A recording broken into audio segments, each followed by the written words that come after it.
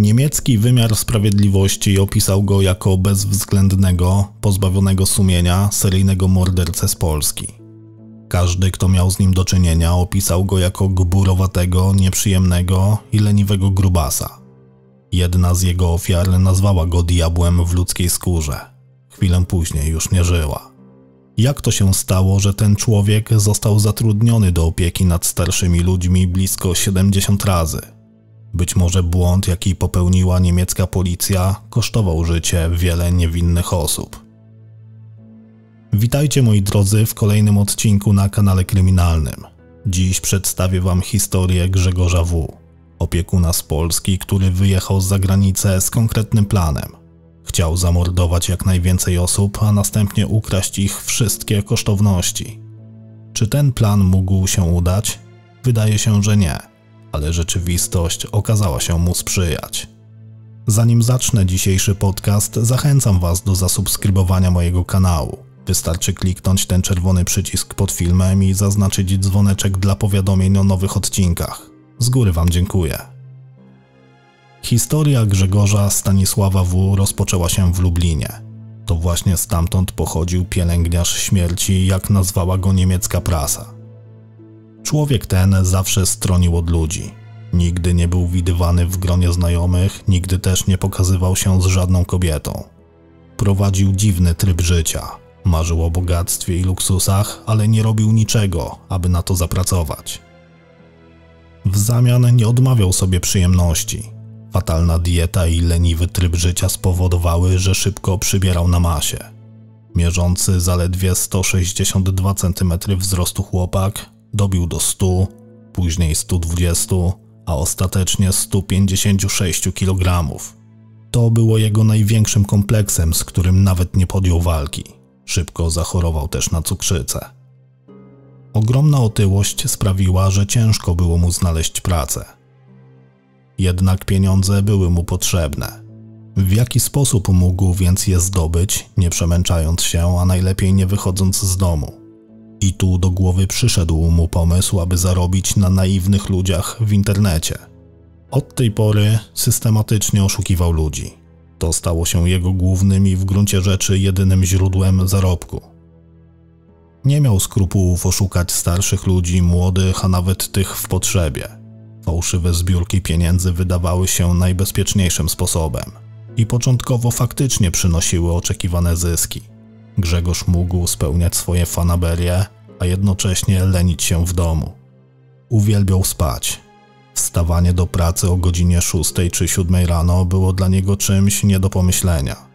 Przejście z pokoju do łazienki było nie lada wyprawą, a młody chłopak, bo mówimy o latach 2005-2010, nie przejmował się tym w ogóle. Realizował swój plan i nie myślał, że kiedyś spotkają go za to konsekwencje. Niestety dla niego dobra passa nie trwała wiecznie. Grzegorz był coraz bardziej chciwy i chciał coraz więcej. To spotkało się z krytyką wielu ludzi, którzy natrafili na fałszywe ogłoszenia z prośbą o wsparcie. Raz chorował na jedną, innym razem na zupełnie inną chorobę. Ludzie zaczęli przyglądać się tej działalności, a sprawa w końcu trafiła na policję. Szybko ustalono, że chłopak wyłudzał pieniądze. W międzyczasie wyszło na jaw, że zaciągnął pożyczkę na fałszywe dokumenty. W konsekwencji sprawa trafiła do sądu, a sąd okazał się bezlitosny. Grzegorz W. trafił za kratki na 5 lat. Wyrok nie mógł być inny, bo kwota, jaką nielegalnie wyłudził od nieświadomych ludzi, była dość pokaźna.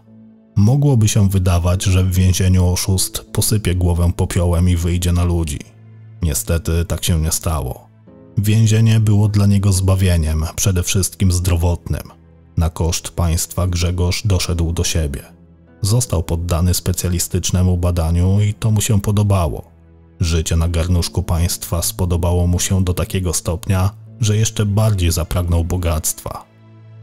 Chciał żyć właśnie w taki sposób, aby inni mu usługiwali, niekoniecznie musiało być to w więzieniu. Wtedy w głowie zrodził mu się kolejny pomysł. Zaraz po opuszczeniu więziennych murów Grzegorz zapisał się na kurs pielęgniarski. Ten trwał zaledwie 120 godzin i kończył się poświadczeniem, że dana osoba ukończyła kurs. Ale Grzegorz tak naprawdę nie zamierzał się nikim opiekować. On, idąc zapisać się na szkolenie, już wtedy miał w głowie sprecyzowany plan. Po ukończeniu kursu udał się do jednej z firm zajmujących się pośrednictwem pomiędzy polskimi pracownikami a niemieckimi pracodawcami. W tym konkretnym przypadku oferowano, jak obiecano w ogłoszeniu, wykwalifikowaną opiekę dla seniorów. Ta branża od lat cieszy się ogromną popularnością za zachodnią granicą.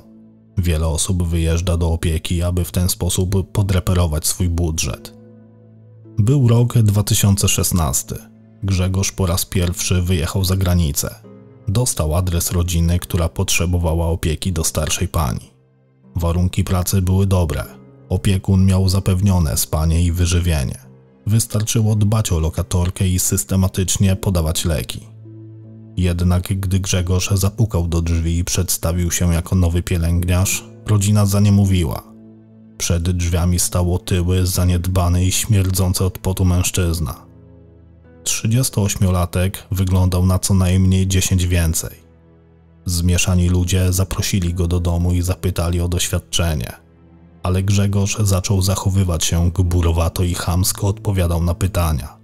W pewnym momencie zaczął nawet krzyczeć na swoich niedoszłych pracodawców. Niedoszłych, bo rodzina wyrzuciła go z domu po kilku minutach rozmowy. Grzegorza jednak to nie zniechęciło. Za pośrednictwem biura pracy szybko znalazł zatrudnienie w domu opieki. Tam nikt nie zwracał uwagi na jego wygląd.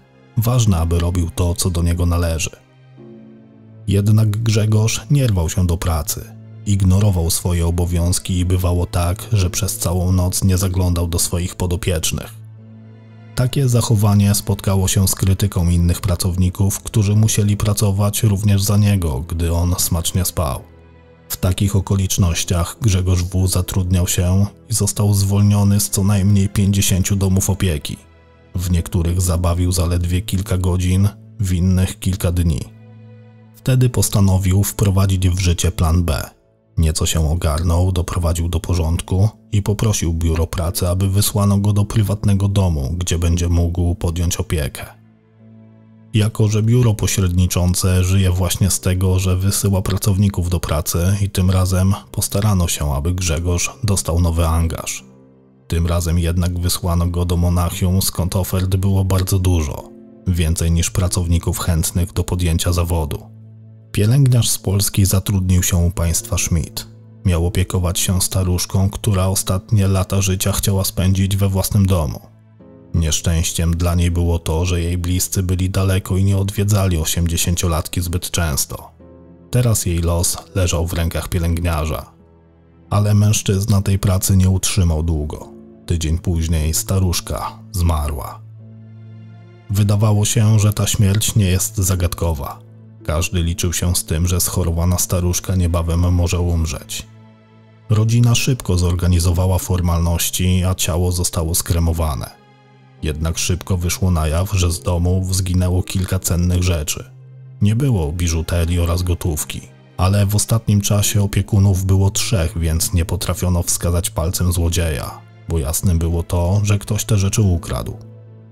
Grzegorz szybko został przeniesiony do kolejnej rodziny i scenariusz był niemalże identyczny. 78-latka zmarła kilka dni później, jej ciało skremowano, a z domu zniknęło wiele kosztowności. Ale i tym razem sprawa rozeszła się bez większego echa. Idąc dalej ścieżką kariery, pielęgniarz trafił do rodziny Wolsteinów. Czuł się już na tyle pewny siebie, że postanowił, że nie będzie zajmował się starszym panem, tylko odpocznie. Senior był przykuty do łóżka i wymagał systematycznego monitorowania jego zdrowia. Do tego cierpiał na cukrzycę. Ale Grzegorz nie przejmował się tym.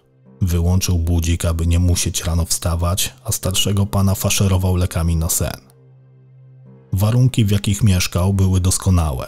Piękny dom z widokiem na las i jezioro było spełnieniem marzeń pielęgniarza. Ale jego błogostan skończył się w momencie, kiedy do domu przyjechała rodzina. Wówczas okazało się, że mężczyzna jest strasznie zaniedbany. Był brudny i głodny.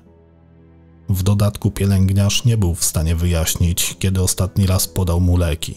Jak się okazało, nie podawał ich w ogóle, a przynajmniej nie te, które powinien podawać. Praktycznie niezapowiedziane odwiedziny rodziny uratowały temu mężczyźnie życie. Trafił do szpitala z podejrzeniem przedawkowania insuliny.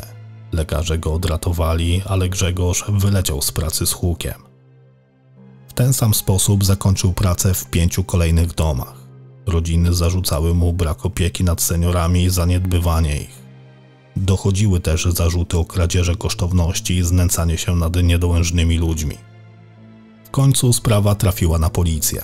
Śledztwo toczyło się, a Grzegorz zdobywał kolejne zatrudnienia. Wszystko zmieniło się jednak, gdy zawitał w domu 87-letniego pacjenta.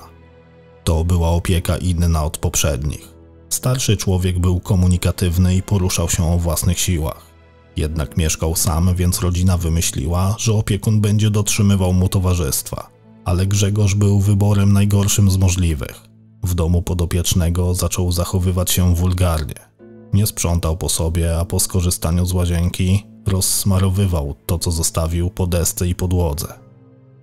Pewnego dnia 81-latek poinformował go, że ma się spakować i opuścić dom. Następnego dnia już się nie obudził. I tu Grzegorz popełnił błąd. Rodzina zmarłego chciała poznać przyczynę śmierci. Mężczyzna dobrze się czuł i nie narzekał na swoje zdrowie. Dlaczego więc zmarł tak nagle? Na to odpowiedziała sekcja zwłok. Okazało się, że przyczyną śmierci było przedawkowanie insuliny. Problem jednak w tym, że ten mężczyzna nigdy nie chorował na cukrzycę i nie zażywał takich leków. To zapaliło rodzinie czerwoną lampkę. Szybko też odkryto, że z domu skradziono biżuterię wartą kilka tysięcy euro, 4 tysiące euro w gotówce i cenną zastawę. Podejrzanym był tylko jeden człowiek Grzegorz W. Tym razem policja postanowiła go aresztować. Zastanawiano się nad bezpieczeństwem seniorów i kwalifikacjach zawodowych opiekunów z zagranicy. Wtedy na jaw wyszły wstrząsające fakty. Bowiem pielęgniarz, za jakiego podawał się Grzegorz W., nie miał prawa i uprawnień do wykonywania tego zawodu. Poszedł co prawda na 120-godzinny kurs, ale pozostałe dokumenty sfałszował. Na ich podstawie był po studiach i mógł pracować z chorymi, nawet podawać im leki to jeszcze bardziej podgrzało atmosferę. W wyniku wewnętrznego śledztwa ustalono, że policja prowadząca śledztwo, to pierwsze śledztwo, całkowicie zbagatelizowała problem. Nie sprawdzono człowieka, któremu zarzucano kradzieże, a całą sprawę zamieciono pod dywan. W związku z tym trzech policjantów niemieckiej policji zostało ukaranych dyscyplinarnie, a jeden zwolniony z służby. Nikt nie sprawdził bowiem i nie potwierdził uprawnień pielęgniarza. Okazało się, że przez cały czas wykonywał zawód bez żadnej kontroli. I jako samoopieka mogła odbywać się bez żadnych problemów, to już podawanie leków, w tym dożylnie, bez należytej wiedzy stanowiło zagrożenie dla życia i zdrowia tych ludzi. Niemiecka opinia publiczna była wstrząśnięta tym, co się stało. Podczas procesu Grzegorz W. powiedział, że bogatym Niemcom należało się, aby ich okraść. Dodał również, że dla niego liczyły się tylko pieniądze, Chciał ich ukraść jak najwięcej, bo jak stwierdził, bez nich nie umiał żyć. Początkowo mężczyzna przyznał się tylko do zabójstwa 87-latka. Nie było żadnych wątpliwości, że śmiertelny zastrzyk wstrzyknął mu podejrzany, ale śledczy nie wierzyli w przypadek. Po fakcie sprawdzili historię zatrudnienia tego mężczyzny i ustalili, że przynajmniej pięciu innych seniorów zmarło w podobnych okolicznościach. Jednak wynikł kolejny problem – nie można było przeprowadzić autopsji czterech z nich, bo ciała zostały skremowane. Zatem można było przeprowadzić tylko jedną dodatkową ekshumację. Była to starsza pani, która przed śmiercią napisała na kartce papieru, że pielęgniarz to szatan, to diabeł w ludzkiej skórze. Słowa te nabrały innego znaczenia, gdy na jaw wyszło, że kobieta także zmarła z przedawkowania insuliny, której nigdy nie potrzebowała. Grzegorz W. ostatecznie przyznał się do sześciu zabójstw. Wyjaśnił, że chciał być bogaty, a starszym ludziom pieniądze i tak już nie były potrzebne. Sąd uznał go winnym dwóch zabójstw, bo tylko te dwa mógł mu udowodnić. Kara, jaką usłyszał, to dożywotnie pozbawienie wolności bez możliwości warunkowego opuszczenia więzienia. I tak skończyła się historia pielęgniarza śmierci, który uznawany jest za seryjnego mordercę. Ciekawe, czy słyszeliście już o tej historii. Mam nadzieję, że nie, a jeżeli Wam się podobała, to mam takich jeszcze kilka. Dajcie znać w komentarzach, a my słyszymy się w niedzielę. Życzę Wam spokojnego i bezpiecznego tygodnia. Do usłyszenia.